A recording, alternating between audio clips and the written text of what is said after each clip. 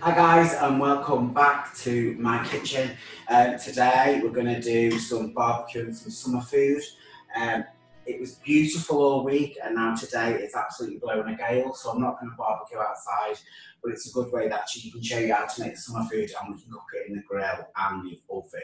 So let's start with a few of the basics. First of all um, I've got some bamboo skewers uh, that I'm going to use to put on some of the vegetables. Um, ideal that you soak them in water first before you use them so they then don't burn either under the grill or on the barbecue. So um, just get them soaking ready. So the first thing we're going to make is a burger. Um, so this is what I'm calling a tin burger. Um, go with me on this, it will all make sense in the end. Um, so first of all, you need to roast some vegetables. I've got some aubergine, some butternut squash and some sweet potato. So I've roasted them in a little bit of oil, no seasoning in the oven, um, and then I've allowed them to go completely cold. The reason we want it to go cold is we want all the moisture to evaporate off because the more water that's in a burger, the kind of soggy it stays together, or if it's too dry, it then can break up. So um, that's the roast vegetables, and all I'm going to do is literally just puree them. I'm going to use a stick blender, um, you can mash these with a potato masher. So there we go, dead easy and simple. Um, all we're looking for is um, a mash. Can still have some texture in there as well. But then to this mixture, what I'm going to add is I've got 20 grams of our um, protein herb crackers. Obviously, when you get these, they can be broken up. This packet was perfect, so I had to smash them up. Uh, but you can just save the cracker crumbs um, and you can put them in a freezer. So I'm going to add this to the mixture. This is going to help again absorb some of that moisture that's in there. So let's give that a stir. I'm also going to add a tablespoonful of Fusillium Plus. This helps bind the mixture together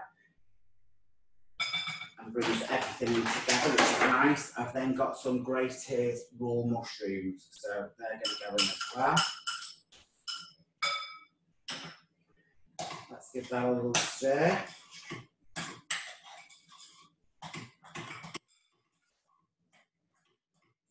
So then to kind of season this, I'm going to add um, some garlic. I'm using some garlic puree, so I'm going to add two teaspoons of that to it. Um, I'm going to add a good grinding of um, fresh black pepper to this. Now I'm not going to use any salt in this recipe, uh, but what I am going to do is I've got some low protein Parmesan cheese, so I'm going to use that because again that helps to bind um, the burger together and it adds some of that seasoning in there. Um, I've got some dried basil, so I'm going to add a teaspoon of that. I've got some smoked paprika, so I'm going to add a teaspoon of that in there. And I've also got some herbs, so I'm going to add a teaspoon of that in. So to that mixture, I've then got uh, two tablespoons of mayonnaise. So let's add all that in and give it a good stir. This mixture you can use um, as a filling for sausage rolls. You can also make this into um, meatballs. You can also um, make this into a sausage shape and they grill really well. The best thing to do with this, because of the Fusillium husk in there, is just allow this just to kind of sit and absorb. You can make this mixture and you can also pop it in the freezer at this stage and then you can bring it out whenever you need it. But I'm going to just do one straight away just so you can see it. So what I've got is um, old tins. So these are food tins that I've just kept. I put through the dishwasher. Um, I think this I have water chestnuts in. It just makes an ideal burger. So you can bake this in the oven and then turn it out. So let's add some of our mixture to this.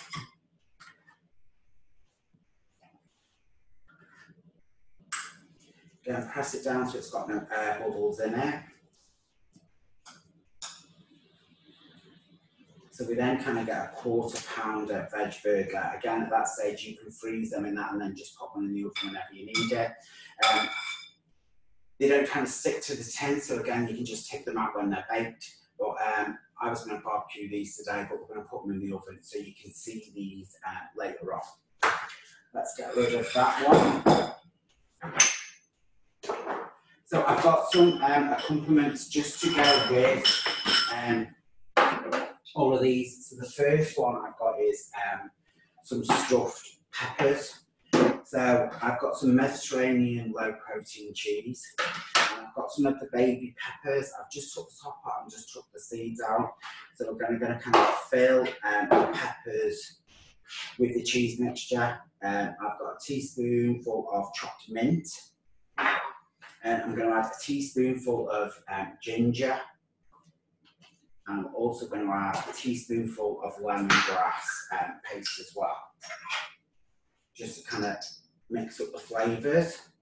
Um, you can add chili at this stage if you uh, if you want to. Um, uh, chili flakes, or you can add some um, chili powder to this. Um, I'm going to add some garlic as well. And add some black pepper.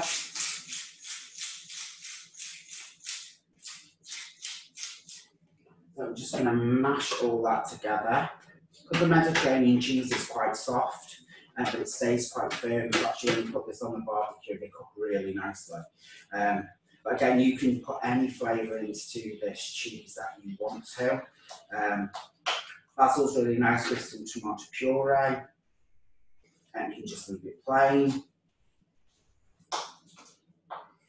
So there's that, and then all we're going to do is literally just stuff the cheese mixture inside these peppers.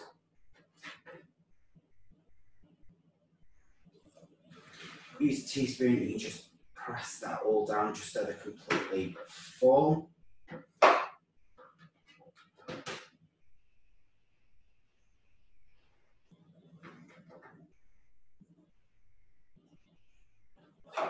Dead simple, dead easy and a really nice um, side dish to go along with um, any barbecue. So let's make sure they're all full to the brim.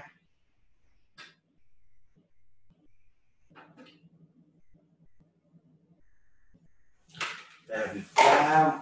So then I'm going to take um, two of my skewers um, and then all I'm going to do is I'm just going to pop the skewer all the way through. So I'm going to do a red and a green one on each of these. A red and an orange, did I just say green? Um, so then we've got some of the um, stuffed peppers. You can brush these with oil before you put them on the grill, but then they're great on there. So that's another one done. Let me wipe my hands, tea towel. So the next one, what I want to do is um, show you just a quick and easy salad that we can do uh, on the barbecue, and that uses um, aubergine. I'm going to show you this one because this is just like my aubergine bacon recipe that I've got. So I've just topped and tailed a fresh aubergine. Um, do it so it stays flat on your board. I want to cut it to about the thickness of a pound coin. So again, just use a sharp knife and go down and do a strips. This is coated in a smoky um, glaze, so when it bakes, it actually tastes a bit like smoky bacon, so that's why I call it my aubergine bacon. I'm going to just take that end a little bit off there so it stays flat. So let's get rid of that one. Um, so in my bowl, I've got some olive oil, I've got some smoked sweet paprika, I've got some garlic, and I'm going to add in some of this, which is called liquid smoke. Um, they use a lot of this in barbecuing in America. You can get this from the supermarket, um, and it's like an essence of barbecue. So again, it adds that um, smoky note that we get um, when we're cooking. So we just do the pastry brush, I'm going to mix all that together. And then what I'm going to do is I'm just going to paint each side of the aubergine just with this smoky mixture. These cook really well under the grill, not on a too high heat, kind of on a medium heat. What you want to do is every so often is just keep basting with this mixture. So the smoke and the garlic and the paprika get absorbed into the aubergine. And the aubergine starts to cook and kind of dry out. So let's flip these over and do the other side. Um, again, on a barbecue, I would just tend to do them over the coals that aren't too hot, and then flip them kind of every minute and a half, every two minutes. It might take about five, eight minutes just to completely cook. Again, baste them every time you've turned them over. And they turn a nice orange colour with the smoked paprika and sweet paprika on it. Um, you can see that it's done like that. Uh, I'm going to do this as a salad today. So with that, I've just got a red onion that I've just cut again, uh, quite thick. I'm going to drop them around. I'm going to also put on some of our um, smoked dressing on that, ready for the grill or the barbecue. And just saying, I've not put any salt on this again because I want it to dry out. If you put salt on, it um, extracts all the moisture out of the vegetables. So end up with them being a little bit soggy, and I think people tend to do that with aubergines. Years ago, they were quite bitter, and you had to salt them to get all of the um, drain the juice out of there, but you no longer need to kind of do that. So that's the aubergine and onion salad. Um, using this same mixture, I've then done a carrot hot dog. Um, so these are quite small. The ones I've kind of cooked are a little bit bigger. So just with a raw carrot, um, take a knife and you just want to cut some slices um, through the carrot, turning it round and just putting the knife through, but not putting it all the way through. Just the kind of concertinas, so you can see that on there. These then get um, coated again in the sweet paprika smoke mixture. And then we're going to bake them in the oven and then they turn out really nice and you can use them as an alternative to um, hot dogs. So there's our aubergine and onion salad. Quick wipe of my hands. Um, I'm going to keep that to baste.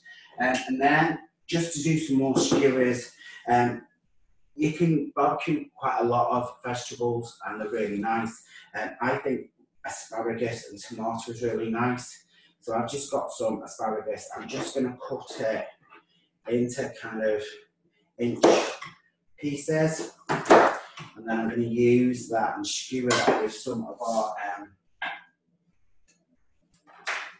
baby tomatoes. So I'll go on with some asparagus and then some tomato, again some asparagus, another tomato, that's end with asparagus. So you've then got these. But again, you can use so many um, different types of vegetables. Um, parsnips are really good on the barbecue. Obviously, corn you can use. I just wanted to show you some um, different bits. So again, brush them with oil, like the peppers, and then just put them on top.